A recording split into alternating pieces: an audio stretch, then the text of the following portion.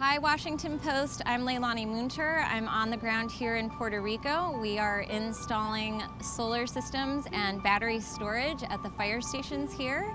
One of the reasons I came down here to Puerto Rico is if they just put up this same old energy system that they had before, well, the next time another hurricane hits, they're going to again be in a vulnerable situation. So right now, a lot of the fire stations are not running because the diesel generators are down and the electrical grid is down. What this allows us to do with the solar panels and the battery pack is this fire station will be able to function independently from the grid.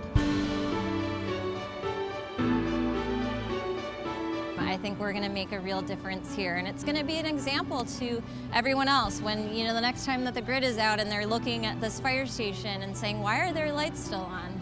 We can say, well, because they have solar and they have battery storage. And I think that's the future.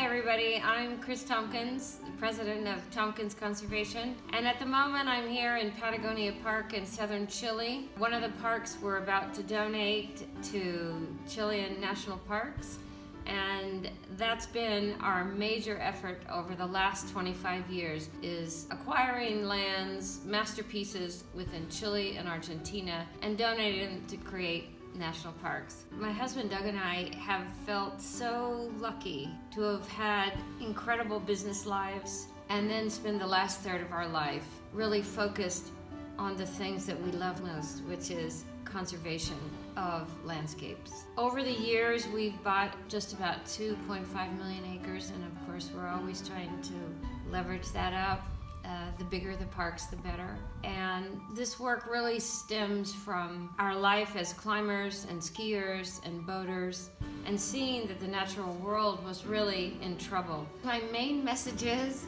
you get out of bed every day and you do something. Something that has nothing to do with yourself, your personal gain, but has everything to do with dignified human societies, healthy landscapes, and a thriving human and non-human world.